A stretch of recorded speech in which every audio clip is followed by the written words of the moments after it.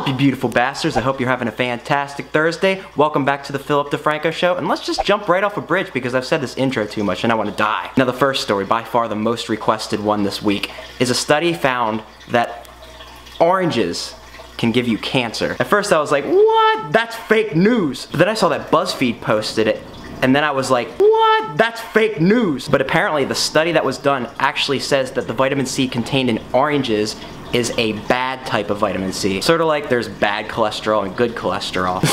so, uh, oranges cause cancer. You know what? Let's do our own study. I'm gonna cut this orange open and see if I feel any sicker. Hmm. That's a good orange.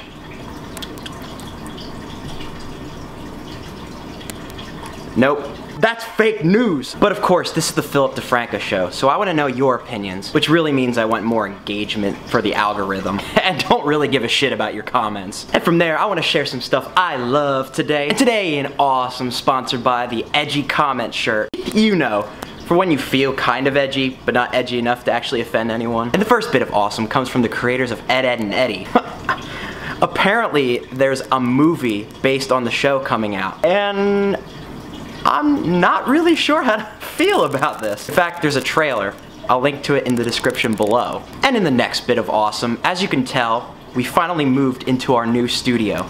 Let me do a quick spin around to show you what it looks like on my setup.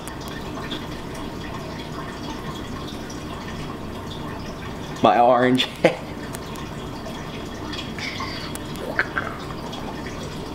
And if you want to check out what I talked about today, the secret link of the day, anything at all, links as always are in the description below. And that's actually where we're going to end for today. And if you like this video, like what I try to do on this channel, you want to see me get naked, hit that like button. And if you're new here, I feel sorry for you. But my name is Philip DeFranco. You've just been filled in. I love your titties, and I'll see you in hell. But seriously, guys, um, yeah.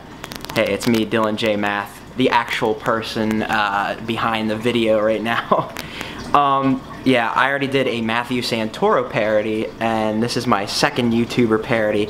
Um, I only parody YouTubers that I like, so don't give me any flack for doing things, you know, like if, and if Phil, if you're actually watching this, which was actually cool because my last parody actually got seen by the person. I, Matthew Santoro actually watched that parody. So maybe, just maybe, you Phil will watch this. I love your videos. I like what you do on this channel and I will see you tomorrow. uh, that was so fucking cringy.